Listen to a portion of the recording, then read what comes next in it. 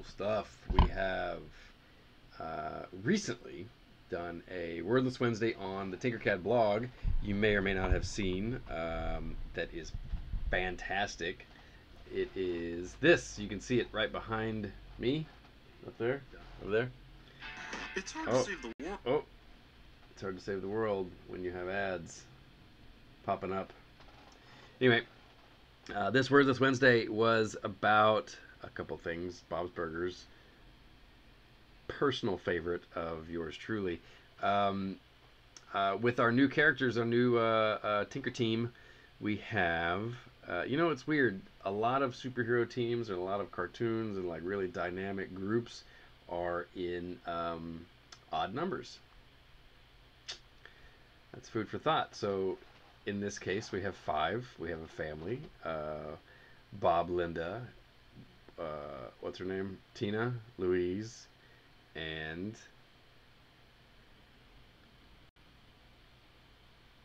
oh my, Gene. Jeez. Wow. Brain fart. Anyway, the Belchers, right? So we have them in Tinkercad. Uh, this was fantastic. This was a couple hours work, and then I thought, hey, you know what? Let's see what they look like. Were they to walk off the screen? And I want to show you how to do this today. So this workflow is really simple. Unfortunately, it's buried. No one knows how to do this, or if you do, you're you're way beyond I am.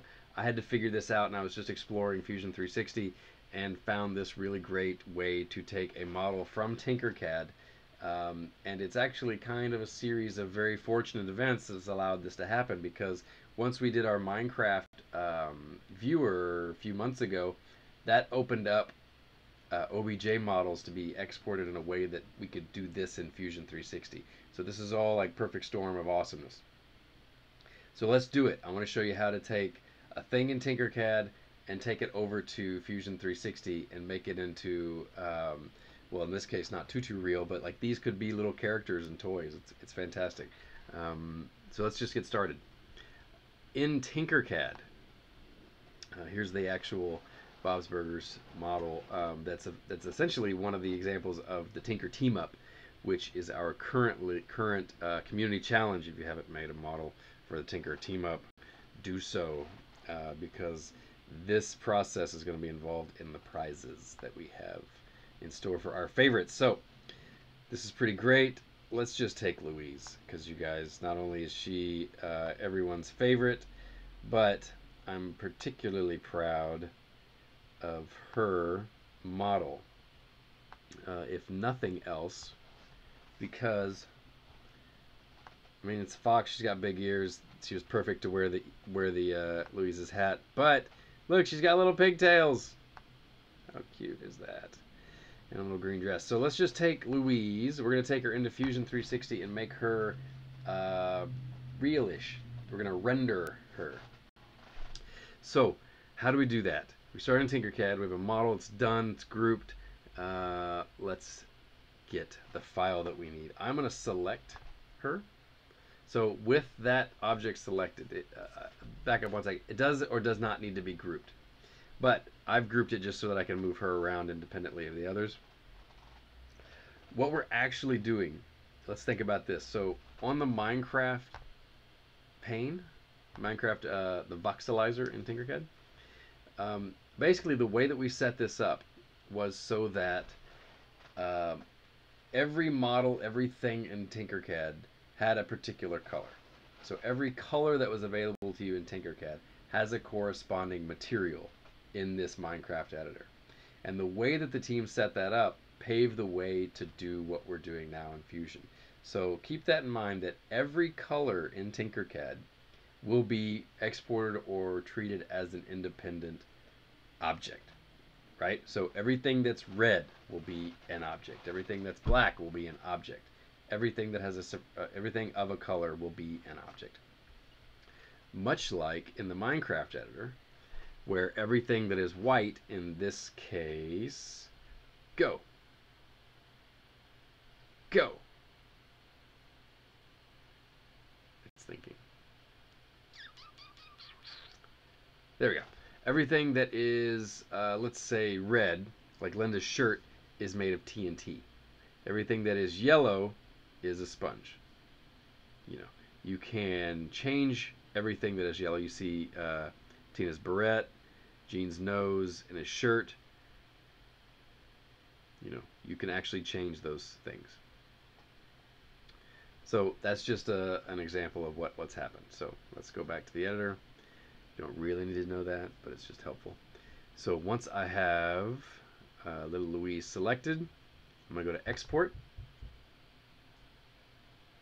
And that gives me the options of what to download. So for this case, I want to just, just download the selected shape.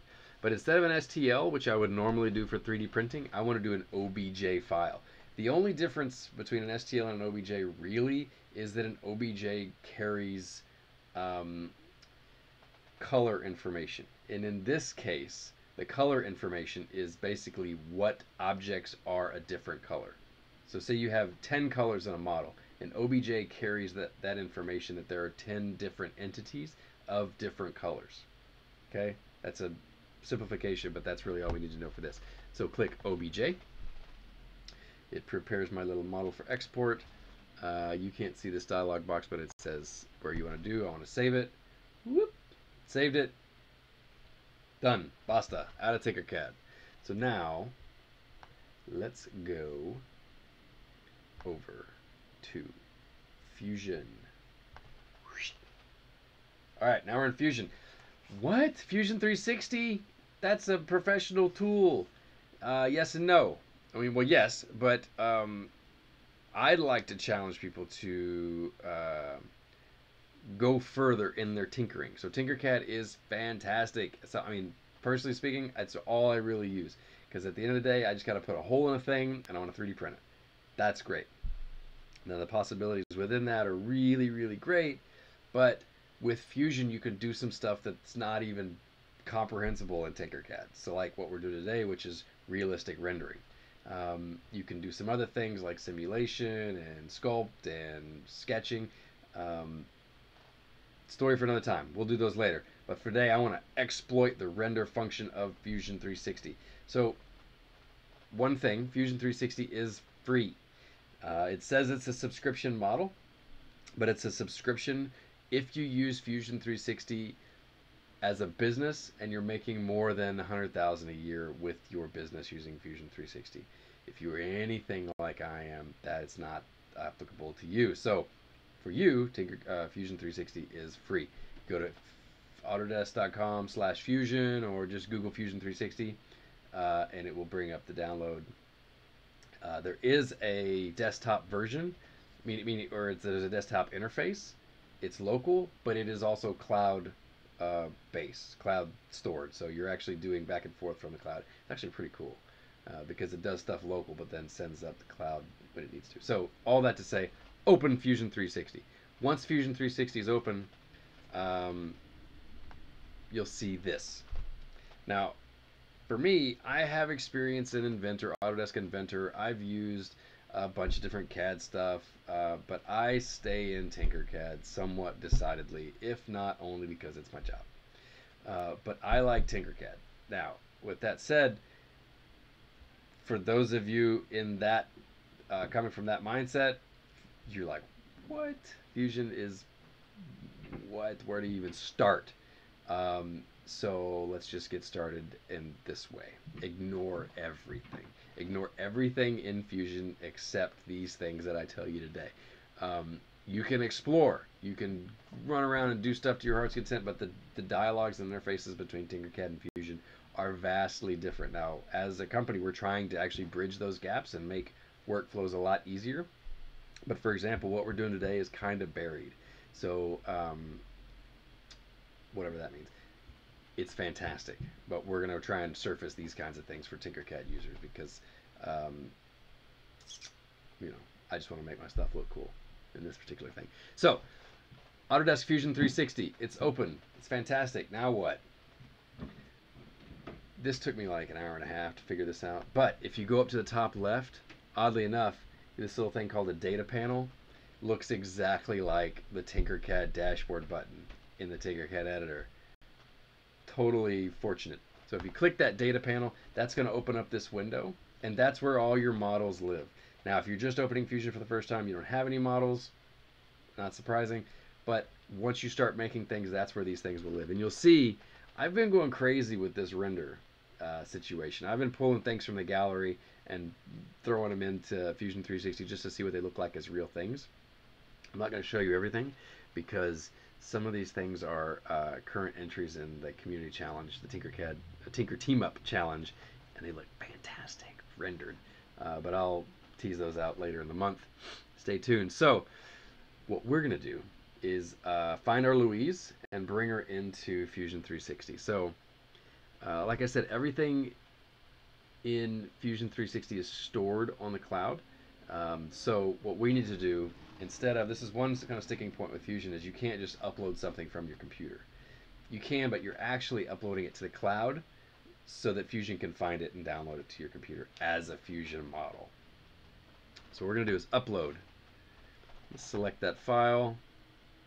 I'm going to find. Uh, now, this is a zip. So, get rid of that.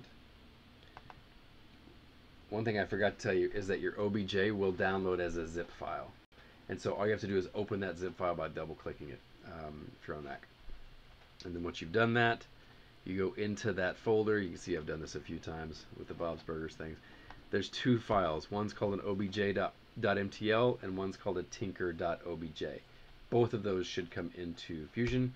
If you download or upload, I suppose, uh, both of them, hit go. Oh, I must have hit it twice. Um, that's thinking complete, complete.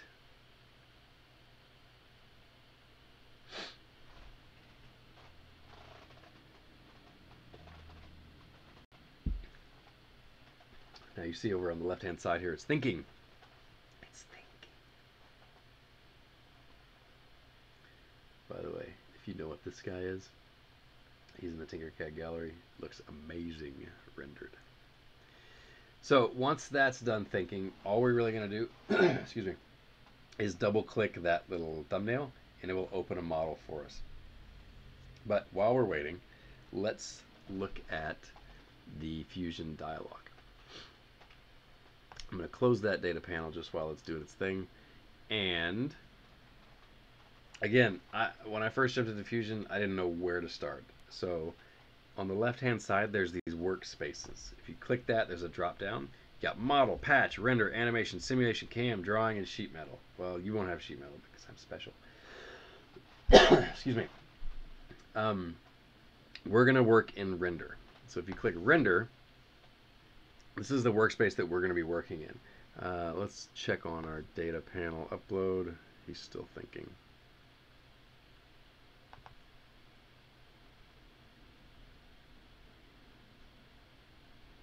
While that's going, we'll just start something else. Uh, let's try our bear.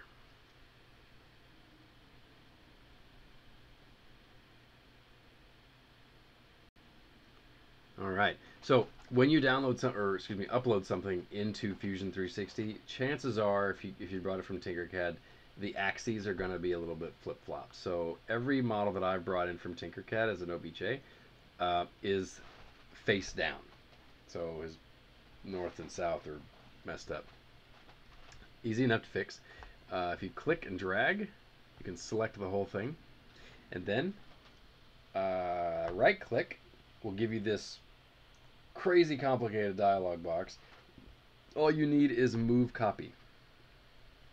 Don't even worry about it. You can also go up here to modify, and that you'll have, you'll see move copy on that as well. But once you have move copy, um, these handles similar to Tinkercad will pop up. And this guy is a rotate. You just want to move him 90 degrees. Boop, and hit enter here's a big key difference uh, between Fusion and Tinkercad is you basically have to confirm every action that you do. So if you want to move a model or rotate it, you have to hit enter to confirm it. So that's that. That's basically all the modeling that we're going to do in Fusion 360 because we did all our modeling in Tinkercad. Now I know this isn't this isn't Louise because she is loading. She's still loading. Maybe?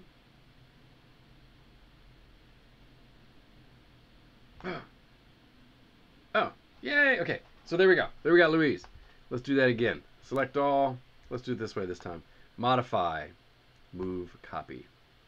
Move copy is a little misleading. You're not really moving or copying. You're turning or rotating. That's okay. Um, whoop, boop.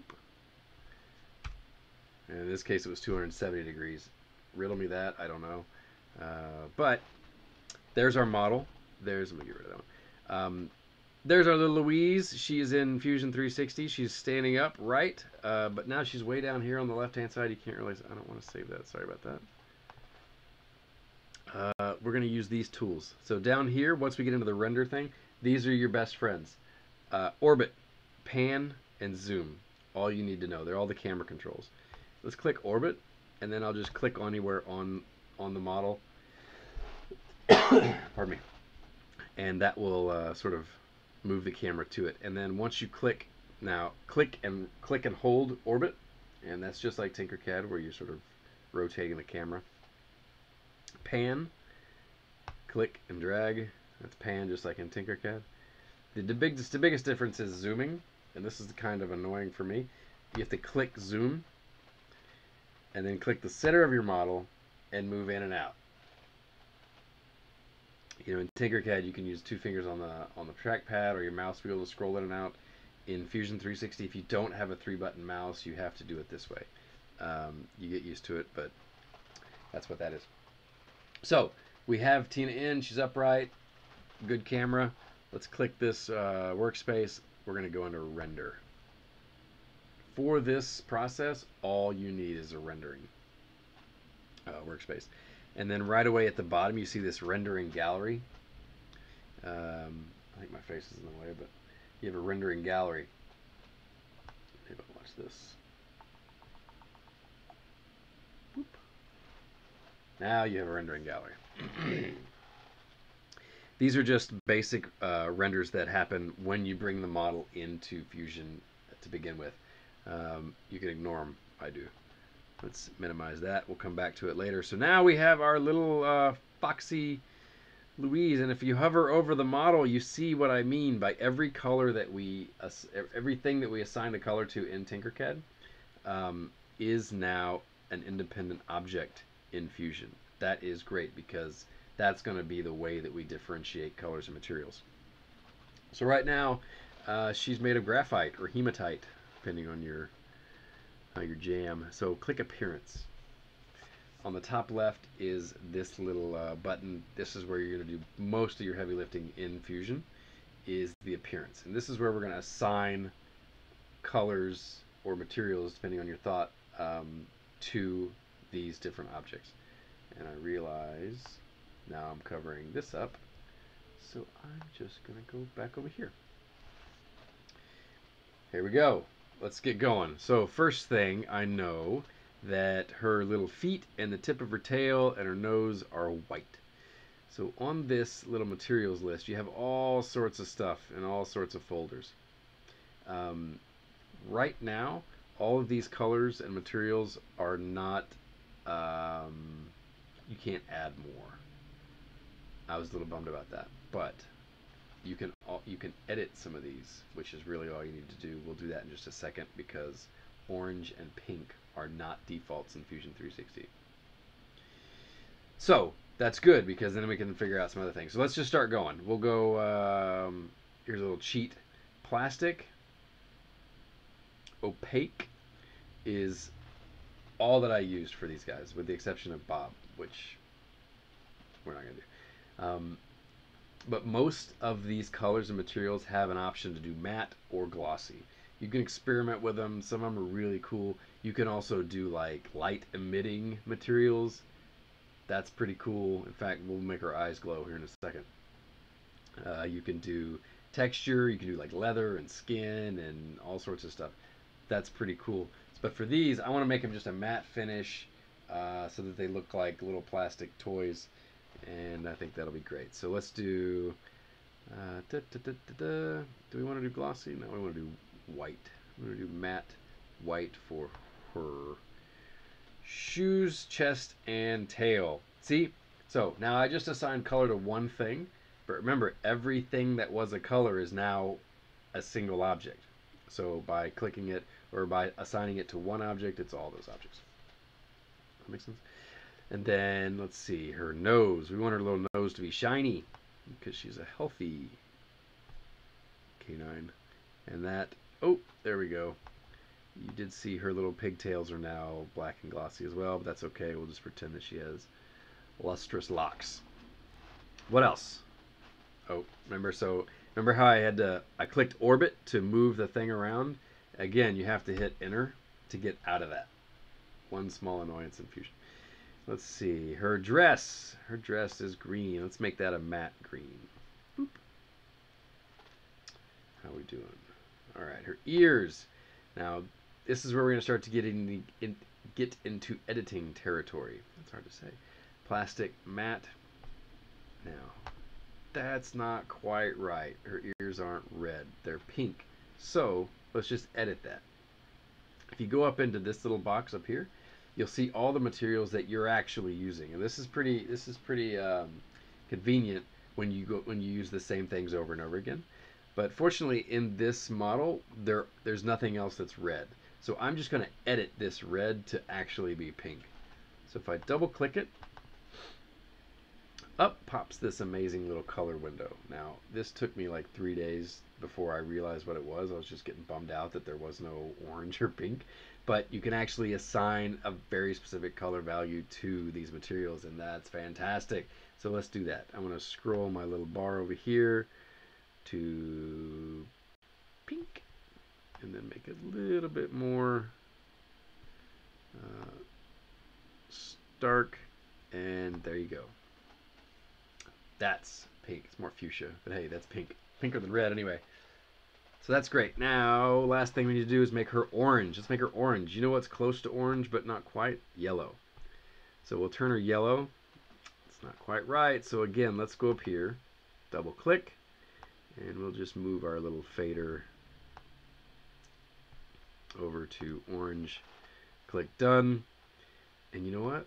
That is a Louise again click orbit we can get around and see gosh this is fantastic. You guys understand I was so excited when I was able to do this. Enter okay we've assigned colors. This is fantastic but we're not done right? So that's not even the good stuff right? So you can do colors in Tinkercad but this kind of looks just like a hopped up Tinkercad not a big deal. What do we want to do? We want to render it. So we can do it two different ways. What I like to do is I like to see what's happening kind of in real time, even though it slows things down. So if you click in canvas render, that basically means you're rendering, which is the final step, but you're you're getting a pretty darn close preview of what that render is going to be in real time. So every time you change the lighting or the materials, you'll see that happening in real time. So already she looks a little bit more sort of tangible and real. Uh, you see the little pixelation, that's just because it's still uh, thinking. And on the bottom right here you can see how close we are to being the different um, qualities. So while that's thinking, let's go ahead and mess things up. For the top left, scene settings. This is where we're going to control our lights and our ambiance. First of all, that gray background's not doing really anything for me. So you can do, there's four things here that I like to do. That's the lighting, brightness, uh, where the lights come from. I guess that's it. No. Brightness of the light, where the light's coming from, the background color or picture, and the ground. Okay, so let's do the brightness first.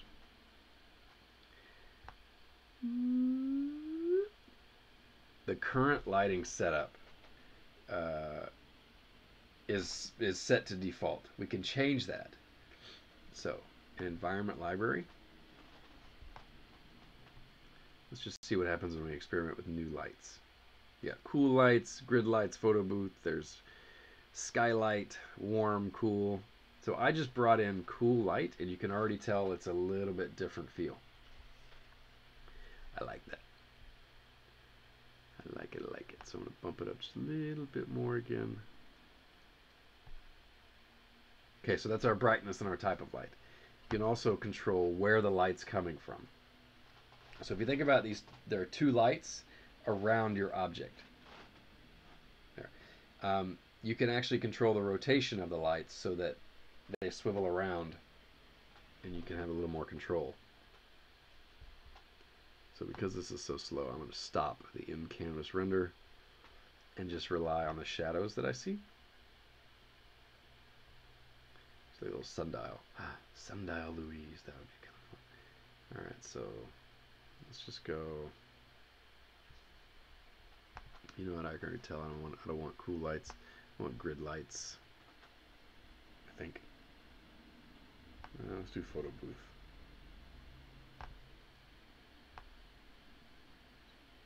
Oh, dramatic. So again, I can control the rotation of the lights. Let's try that. And what did I say? Background color. Lights where they come from, brightness, the color, background color. So you can do a couple different things. If you want a super simple background, you can just change the color. It's great. That's pretty stark, if you ask me. So we'll, we'll manipulate that in a sec. Or you can give her an environment. Now, if you want Louise to go on a field trip, let's do it. We'll go into our environment library and let's just see. She's going to go to some plaza, potentially in Italy. I got European vacation. this is the part that blew my mind. First time I did uh, some of the some of the superhero stuff. Look at there. She's floating a little bit, but you can see that's pretty cool. If we go back into settings, you can change. I forgot you got to get out of that. If you go back to settings, you can, can you can change. Let's see, flatten the ground, and so she's a little bit. I'll zoom.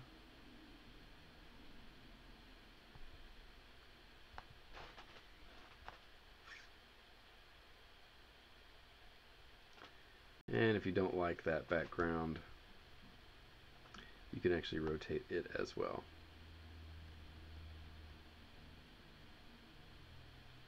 Is it Paris? No. There we go.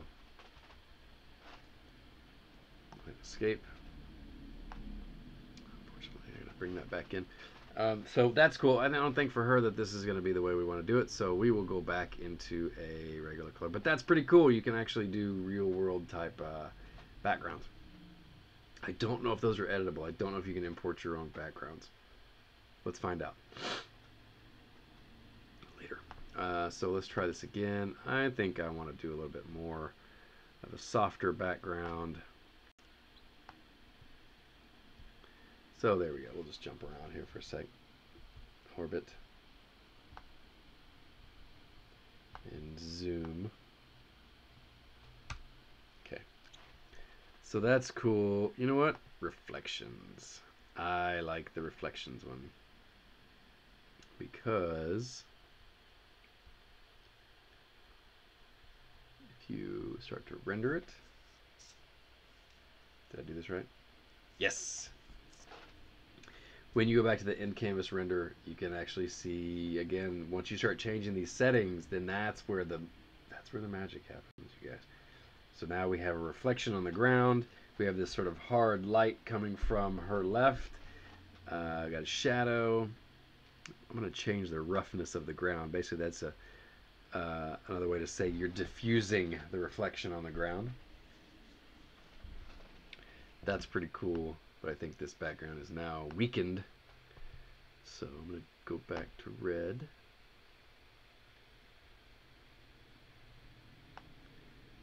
You know what? I'm not. I'm going to go to yellow.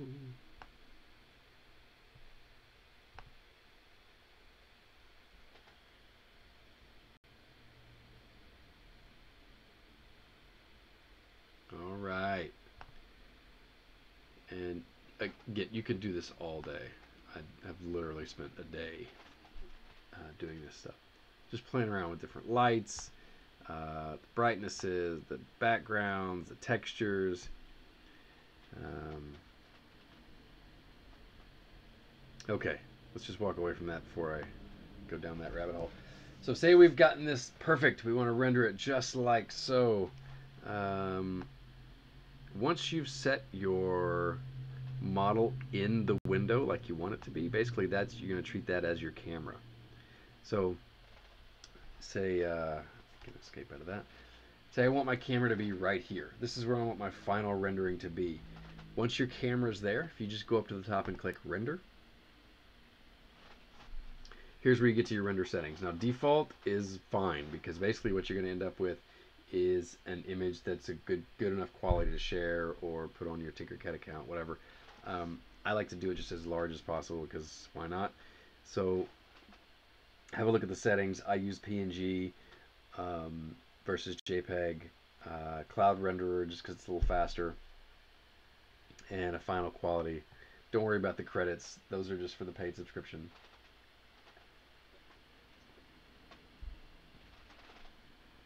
And there we go. So while that's doing that, I think that's too bright.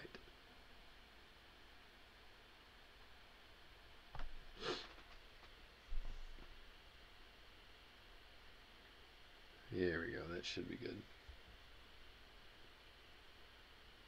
But remember, we did everything in matte finish. So depending on your light, that's where you're going to start to see sort of smoothness and rounded corners. Let's try some other. Let's try some other materials while that's rendering. So I'll just click close, get out of there. And you can always check on that rendering down here at the gallery. Oh, it looks like it's almost done. Let's give it a shot, see what happens.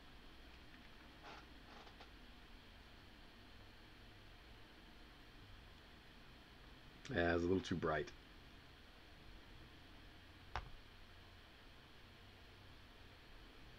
So let's try some other things. We'll go back into our appearance. And well, let's just get crazy. Guys, let's get crazy. We'll do a glossy on her dress. And if I'm not mistaken, you'll already be able to see a big difference on that side. Yeah. So let's try glossy white. Where am I? Glossy white. We'll do um, glossy red for ears, but that's not pink, so we're going to go back in and change that.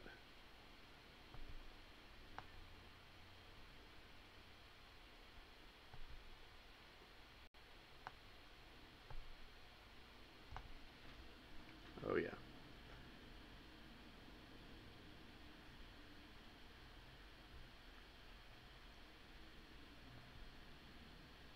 So you can already start to see the reflections on our ears.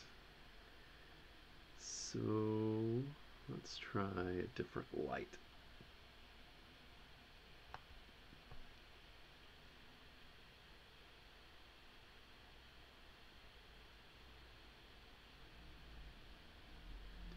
So one thing, let's just go back to, let's try black. Everybody looks good in black.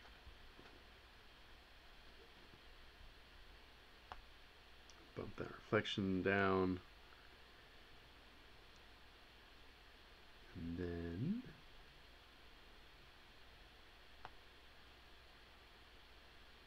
go just a little bit brighter.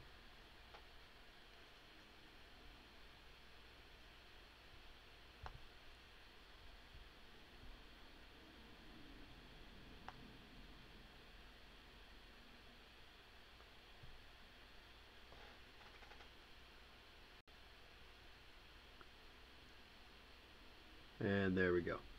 We'll do another render.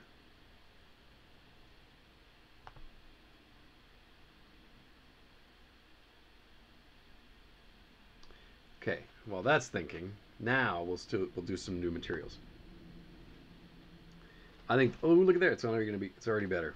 So I like her ears shiny, I like her nose shiny. See the reflection on her tail. That's pretty great. So if you do explore some of the materials, there's some pretty fantastic uh, colors and materials in here. So let's just go down the top here. Where's the glass? You can make her clear.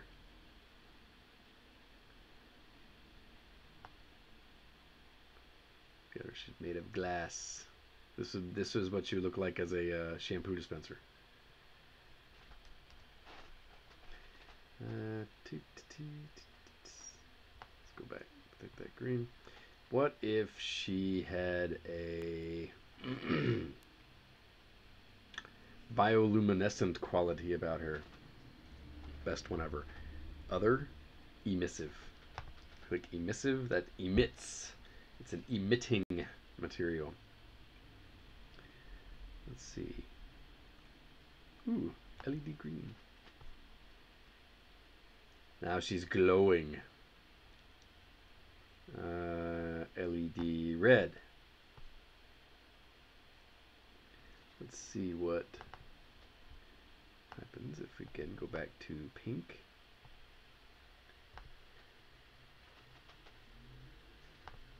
This is going to be cool if we take this down to no brightness. You can actually see that the LEDs are glowing. Let's go back up just a little bit. And I believe we can change the settings of the LEDs.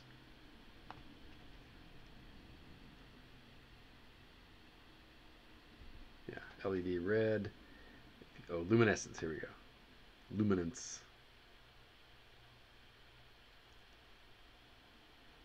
Yeah. Super radioactive ears. So that's pretty cool.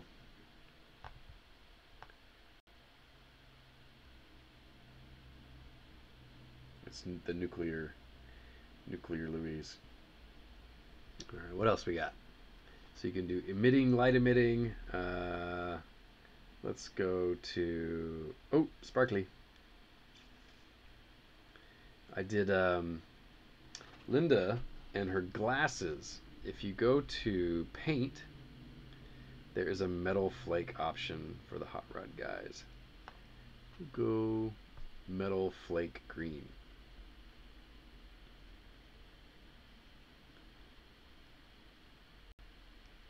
You know, I'm going to get rid of. That is that really bright LED.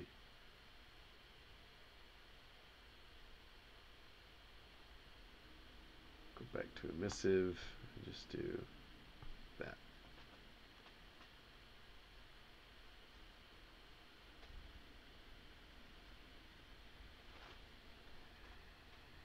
That's great. So we'll do a render again, see what happens.